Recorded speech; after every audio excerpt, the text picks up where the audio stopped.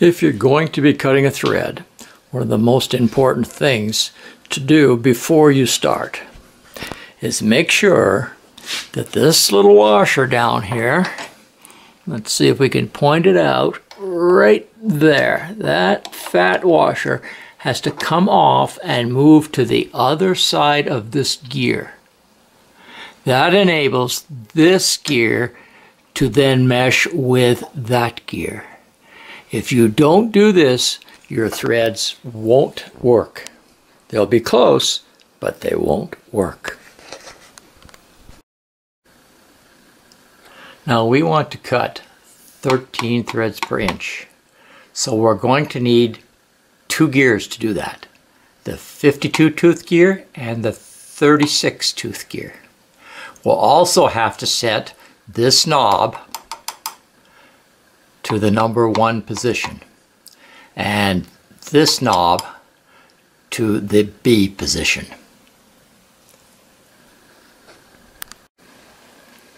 So the 36 tooth gear is going to go where this gear is now and the 52 tooth gear is going to go where this gear is now. But don't forget the little washer, the fat washer behind here behind this gear is going to go in front of this gear now. If we don't do that, it's not going to work. It's a really good idea to slow things down before you start the threading process. You want to give yourself some reaction time in case things go wrong.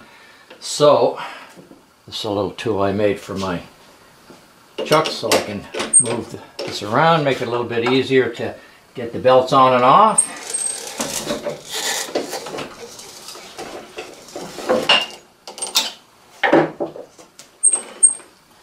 Take that belt off and put the smaller belt on the top pulleys. That one and this one. That usually goes well without this tool. And that will slow the lathe down. So maybe we'll go over this chart one more time, just for an example.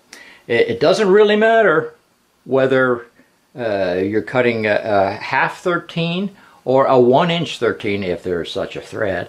Uh, the size doesn't matter. It's the same gears will produce the same number of threads.